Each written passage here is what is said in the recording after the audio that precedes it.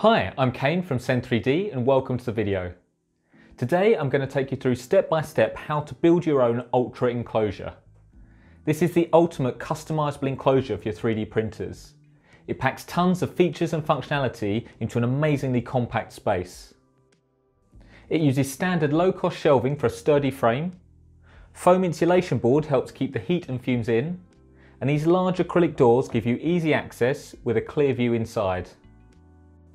Plus, as a DIY kit, it's completely modular and customizable. This is a fairly conventional 2x3 layout, but the only real limit is your imagination. You could make your enclosure huge with multiple large format printers, or compact and small to fit in the corner of a room. You could use it to create a work surface, or get organised and add lots of storage space. The kit also comes with an ever-growing range of add-ons. Like this extractor fans, you can easily vent your prints, and this temperature gauge mount for accurate chamber monitoring. The kit includes files for all of the printed parts, as well as lifetime updates. So if I release a new add-on or update a part, you can download and print it for free. With your Ultra enclosure, you'll be printing more reliably, with less mess and less fumes in an amazingly compact space. You can buy the kit from ultraenclosure.com. With that said, let's go back in time before this enclosure was built and get started. Before we can start building, we need to do a small amount of planning and also list out all the parts that will be needed. The first step is to measure the volume of space that your printers will need inside the enclosure. Now in my case I'm going to use Ender 3s and I'm actually going to remove the spool holder from the top as it saves a considerable amount of height. Now most of my prints are not very tall so I can actually mount my spool holder just here but alternatively, you could mount it to the side of the printer or even outside the enclosure and feed the filament through a small hole. I can now start by measuring the height of the printer, which is 47 centimeters. I can also measure the maximum width, which is 45 centimeters. I'm going to extend the bed all the way to the back and measure the maximum depth that will be necessary, which in this case is 53 centimeters. Now, obviously this will vary a lot from printer to printer, but what we need to understand is the minimum height that we need for each shelf. And we also want to ensure that the print bed doesn't collide with the door or the rear of the enclosure whilst it's printing. We're going to look at all of the parts required in the next section, but we first need to select our shelving as this dictates the dimensions for everything else. Now the kit was designed and built with this excellent boltless shelving. It's strong, light, low cost and very easy to work with. However, this is a DIY kit and there are other shelving systems like this one here which should work just as well. For this build I've selected a unit that's 180 centimeters tall, 120 centimeters wide and 60 centimeters deep. If I draw this out and stack three printers on top of each other at 47 centimeters each, I still have 39 centimeters spare, which is plenty of room for the shelves and some spacing. Similarly, with two printers side by side, I need 90 centimeters and have 30 centimeters spare. So again, plenty of wiggle room. Finally, front to back, I need 53 centimeters and have 60, which is the tightest dimension but should still work. Don't forget, I'm installing six identical printers here in a 2x3 configuration. However, you could set it up as two across and only two down, and you could also add a storage shelf. You could even adapt the width to have two larger printers and two smaller printers within the same enclosure. Now if you find that you need more space in a particular direction, I have a few suggestions for you. Now if your printer has a moving bed like the CR10 or the Ender 3, a very quick solution may be turning it sideways. It may not look quite as elegant, but it will give you a lot more flexibility in the maximum depth that you can hold. The other solution is what I call mix and match.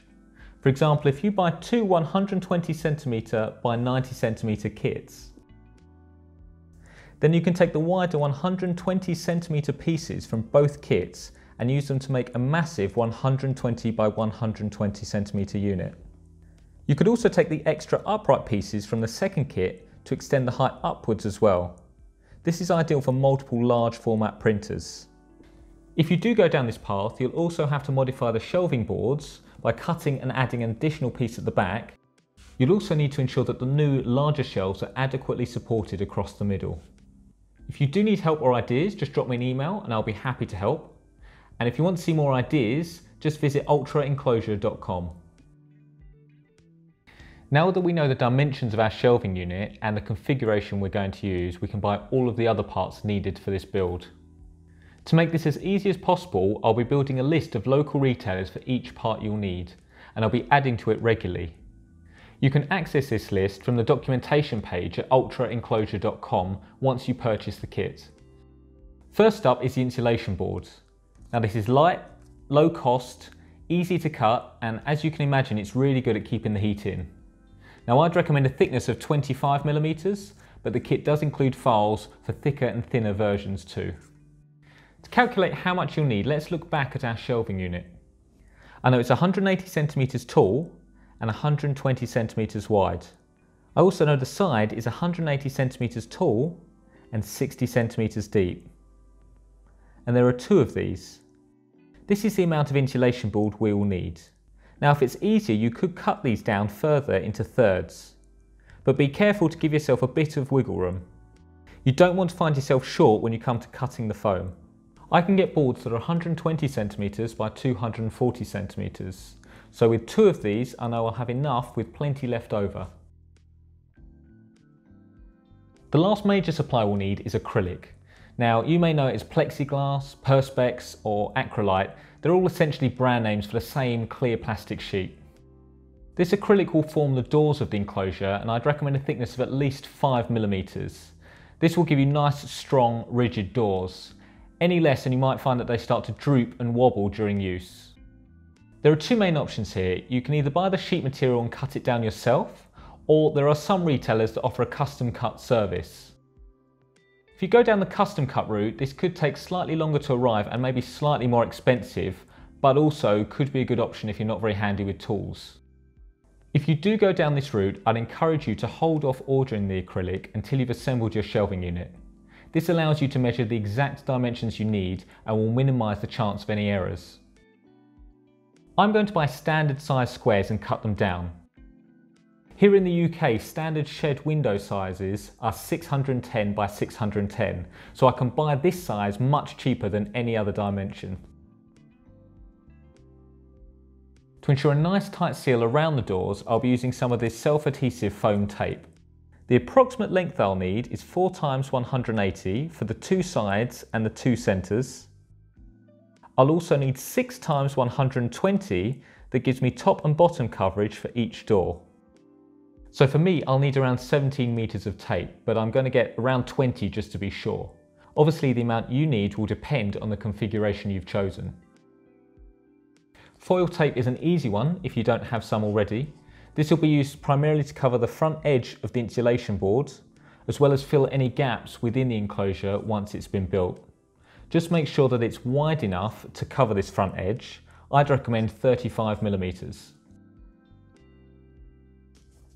Outside of the construction materials, I'll also be using a power strip, a reel of LED lights, these are RGB and powered off of a USB port, six of these temperature sensors, a 60mm 12 volt fan, a 9 volt battery case, a length of this 50mm ducting, and finally, if you choose to use the spring catches for the doors, you'll need some springs.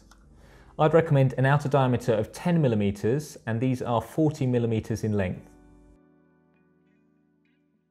For all the fixtures and fittings, I'll be using M5 nuts and bolts.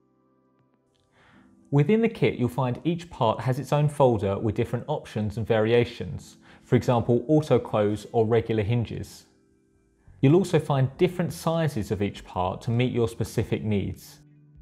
For this build, I've printed all of my parts in PETG for a combination of strength, resilience and ease. Within the kit files, you'll find a range of cutting and drilling templates. Make sure you print these at a scale of 100% and they'll make many of the tasks later on a lot easier. Finally, before we begin, I'm just going to summarise the tools that you'll need. I have a drill with a 5mm bit, a 10mm bit and a countersink bit, an M5 hex key or Allen wrench. If you're cutting your own acrylic, you'll need a saw. In my case, I'm using a mini plunge saw. You could also use a jigsaw or another tool of your choice. A good quality sharp knife for cutting the foam, a mallet for the shelving, a marker pen, tape measure, and a long straight edge. Okay, so enough preparation, let's start building. The first thing we're going to do is assemble the bottom shelf and legs. Make sure both tabs lock into the uprights and gently tap them into place with your mallet. You can now insert the cross beams and add the board for the bottom shelf. Now add the connectors and remaining upright pieces to get the full height of the unit. Next I'm going to take the height measurement we worked out for each enclosure and measure up from the bottom shelf. In my case that's 60 centimeters. I'll add the frame for my second shelf here, but not the board as we still need access to the space below. If you can, place a printer on the shelf to ensure it does actually fit. Before we start installing the foam, it's really helpful to mount a power strip on the back. This will ensure the cables for all of the printers are able to reach, even the ones at the top. I'm going to measure the distance between the two mounting holes on the power strip. I'm then going to mark this distance on the centre at the back of the shelving. Using my 5mm drill bit, I'm going to make two holes, one at either end. Once you're through, add a nut and bolt loosely to the two holes. Now I can install the power strip and tighten the nuts for a secure fit. For the foam, I'm going to measure the width and height at the back of the first shelf.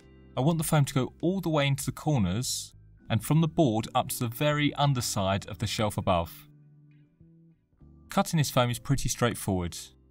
Measure and mark the rectangle and carefully cut along a straight edge.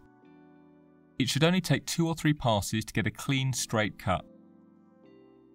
Now take the foam and place it into the shelf at an angle. You should have a nice snug fit on the sides. As you push it up, it will hit the shelf braces in the middle. Mark the contact points like this. Now remove the foam again and cut notches for these shelf braces. Now, at the bottom of the backboard, I'm going to divide the width by 4. I'm going to mark this in from either end. I can now make a small notch to allow the power cables into the enclosure. We can now reinstall the foam. First, place the two power cables on the shelf for your printers and guide them through the gaps.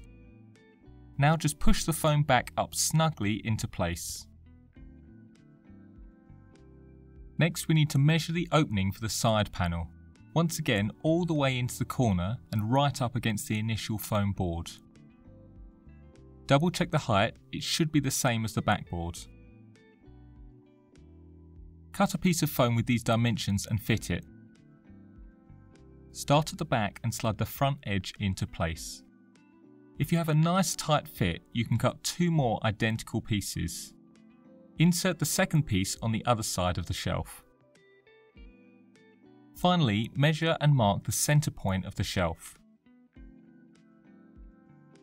Apply foil tape to the front edge of your last piece of foam and slide it into place, centred on the marks we just made. Slide a rear brace into position like this and pin it into place with 3D printed pins. Now add another rear brace to the top and again pin it into place. For the front, choose your relevant cutting template depending on whether you'd like to use the spring catch or twist catch.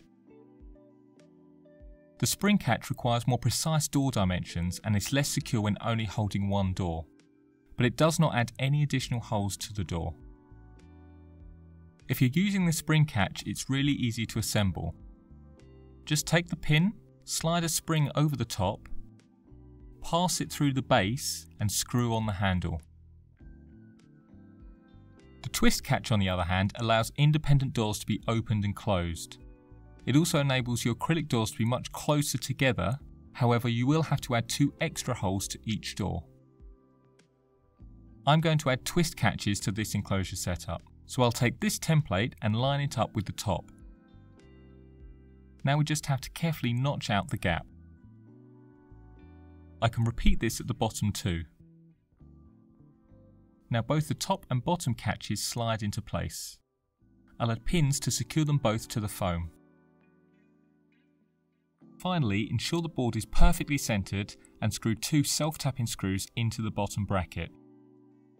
If you prefer, you could also glue the bracket down instead. We'll secure the top bracket a little later. Now if you want to install LEDs, this is an ideal time to do it. Measure out the width of the shelf and cut the LED tape at a marked point. Cut from the end closest to the power cable. We can now take some wire of an appropriate gauge and solder it onto the pads at the other end. Leave plenty of extra to extend and connect it to the next strip a little later. You can now peel and stick the LED tape to the underside of the shelf. It's also a good idea to insulate any metal the LEDs may touch. This will avoid any shorts that could prevent the LEDs from working. Just add some electrical tape at these points. Flip the board over and drop it into place. We're now ready to move to the next level. Repeat the whole process all over again. Measure the shelf height and install the bars. Measure and cut the foam. Mark and cut the notches. Measure and cut the side panels. Foil tape and install the centre panel. Add and pin the braces. Notch the openings and install the braces. However, this time when you screw down the bottom brace, ensure the screws tap into the top brace from the shelf below. Measure and cut the LED strips. This time run the remaining cable from the first shelf up to the LED strip. Solder more cable onto the other end to create a continuous circuit. Tape the cables and LED down and install the boards. Repeat it all one final time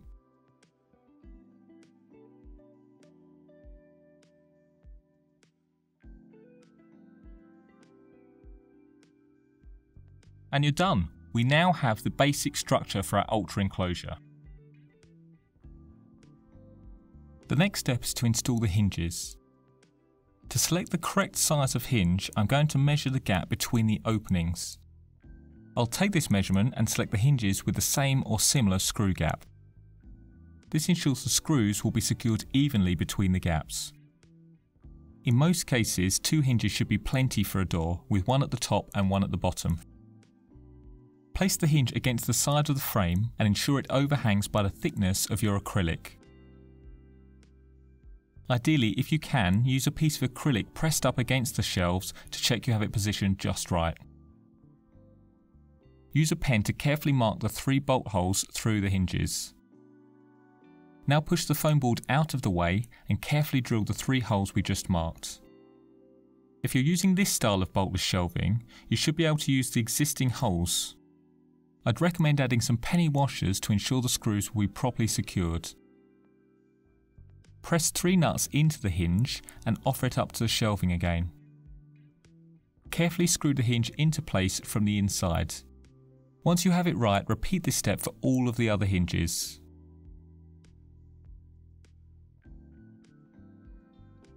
Now it's time to cut the doors to size. Let's start at the bottom. Place some spacers on the floor and the acrylic on top of that. This will ensure an even clearance gap. You can print these spacers out from the kit and use a height of your choice.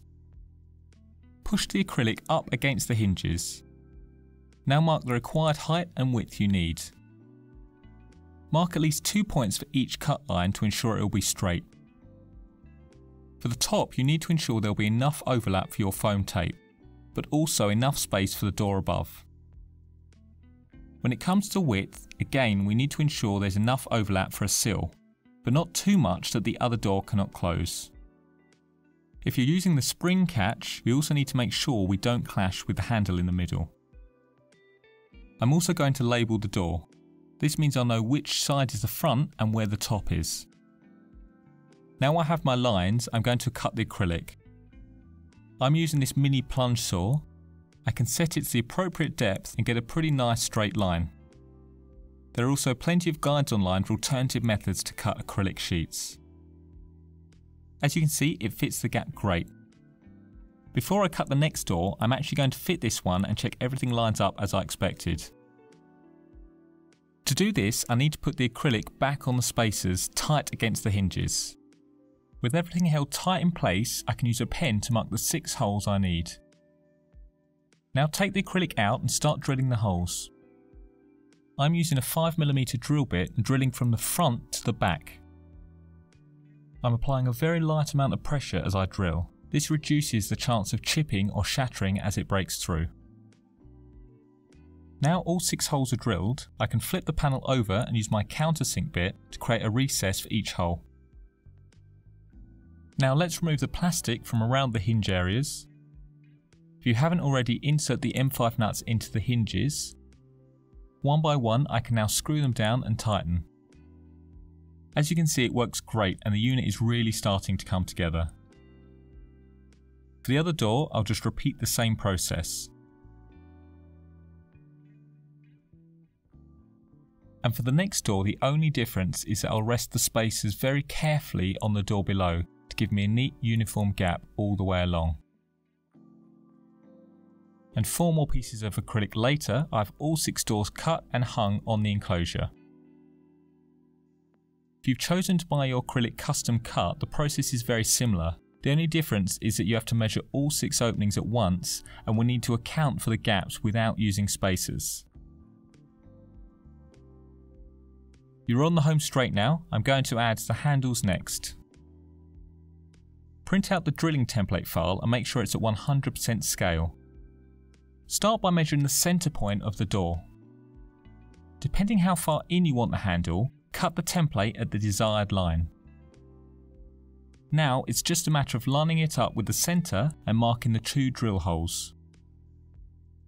I'll drill them out once again with my 5mm drill bit from the front and again countersink from the back. I can now push two captured nuts into the handle, pull the plastic away from the door and screw them into place. Five more times and all of your doors now have handles. If you've gone with spring catches, your doors are now done. They should open with ease and latch closed nicely. I'm using twist catches, so I've one further step. I've printed out the twist catch template and cut along the dotted line. I can now line it up with the catch and mark my exact drill point. I'll mark both the top and the bottom. Just like before, I can now remove the door and this time I'll be using a 10mm drill bit to carefully drill the two holes. We can add the two halves of the screw catch, making sure the handle is on the front. Get it nice and tight but still possible to twist. If you find it does unscrew itself during use, you can also use a dab of glue inside the thread. And with the door back on, everything looks and works great. Repeat the steps five more times and the catches are all now in place. The final step we need to take is installing the foam tape around the door opening. This will ensure a nice tight seal when the doors are closed. First I'm going to roll out the horizontal lengths for the shelves. Once these are in place I'll add the vertical strips on the edges and finally down the centre. What you're looking for is the best possible seal when the doors are closed. These enclosures are well insulated but not completely airtight, so don't worry if there are minor gaps you cannot avoid. This is also a good time to check the inside of the chambers. And if there are any significant gaps, you can use the foil tape to seal them up. Now we have the base unit set up, you can finish here and you'll have a great ultra enclosure. However, I'm going to add a few extras onto my setup. I also plan to use the enclosures on the left side for printing ABS, so I want to include venting fans. The idea is that if the enclosure has been printing ABS for 24 hours or so, I don't want to then open the door and take a nice deep breath of that air. First, I'm going to take the extractor fan template and cut it out. Just place it where you'd like the vent inside the enclosure and mark it with a pen. Now we can carefully cut it out with a knife. The base of the fan unit can be pushed through the hole and is secured with a large screw cap on the other side. The extractor fan itself is a 12 volt fan that I connected up to a 9 volt battery pack. It's a little underpowered but should do the job just fine. I'll screw it securely into the housing and then secure the duct onto the other end. Now, when I'm printing, I have this slat in place. When the print is finished, I'll drop the hose out the window, slide the fan into place, remove the slat and turn on the power. It won't take long to vent, but we'll look at this in more detail shortly. The advantage of this design is you can have multiple vent holes but only need one fan set up. You can easily slide it in and out of different enclosures as you need it. The final add-on I'm going to install is these temperature gauges. They'll give me a clear and simple way to see the ambient temperature inside the chambers. I'm going to clip the gauges into place like this. Now I can slide out the foam, notch out a small gap and slide the gauge into place. And we're done. Six awesome 3D printer chambers Lit, monitored, insulated and super easy to use. It's like a mini factory in a compact space. To help demonstrate the advantage of the Ultra enclosure, I'm going to finish this video with some demonstrations and tests. However, if I'm going to test it, I need some printers. And it just so happens I have six Ender 3s waiting to be assembled. I'm now going to run a couple of demonstrations, looking at the insulation and the containment of the Ultra enclosure setup. First off, let's see the difference the insulation makes. I've designed a custom ABS torture test, and yes, you can download it free from the link in the description below. It's a tool model that I print at 80% infill with lots of sharp 90 degree angles. This will really emphasise the challenges of ABS and its notorious warping and shrinking. Both printers are set up identically and are printed in the same room at the same time. I've used a PEI bed with ABS juice for maximum adhesion. The G-code file is also identical. The only difference is one is inside the Ultra enclosure and the other is outside. As you can see the difference between the two models couldn't be more stark. Outside the enclosure every corner has cracked and warped. There's barely a feature that's printed successfully. By comparison, inside the enclosure the print is almost perfect. And with a build plate temperature of 100 degrees, the ambient temperature inside the enclosure maintained 50 degrees throughout, which is excellent without any dedicated heater inside the chamber. The second major advantage of using an enclosure is that it generally reduces the smells and gases that get pumped into the room. As a side point, whilst this enclosure may help, it is in no way guaranteed to contain any or all dangerous gases. You should always 3D print in a well ventilated room and seek further professional guidance on best practice for healthy and safe 3D printing. With that said, for my test, I'm going to use a smoke machine to visualise the spread of gas and its movement. First off, I placed the smoke machine inside a chamber with the door removed. For each test, I'll activate the machine for 15 seconds to create an equal volume of smoke. As I hope you can see in the footage, it very quickly fills the entire room. And what may be hard to pick up on camera is the haze that was in the air for a significant amount of time after the test. For the second test, I'm going to return the door and close it. As you can see, the same 15 second burst looks radically different. Almost all of the smoke is contained within the chamber, and even after 10 minutes the smoke is almost entirely contained within. However, as you can imagine and we'll see here, this creates a new problem. If you store up all of the gases from a long print and then stick your head inside, you're hardly improving the situation. So for the final test, I'm going to attach and turn on the extractor fan, drop the hose out of the window, and trigger the same 15 second burst. As you can see here side by side, with the fan on the smoke has almost entirely gone within 5 minutes. Meanwhile without the fan, after more than 10 minutes there is clearly still smoke inside the chamber.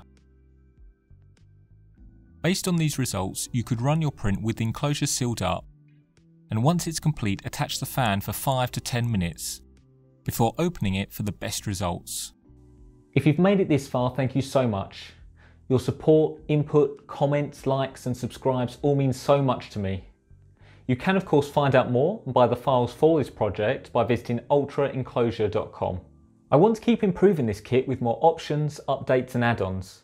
So let me know in the comments what you think I can do to make the Ultra Enclosure kit even better. It could be an integrated spool holder, maybe somewhere to store your tools, different handles, or even somewhere to mount a Raspberry Pi. Let me know what you'd like to see most. Finally, if you get stuck during your build, need some help or have any questions at all, please don't hesitate to email me. I'll be more than happy to help. Thanks again for watching and happy printing.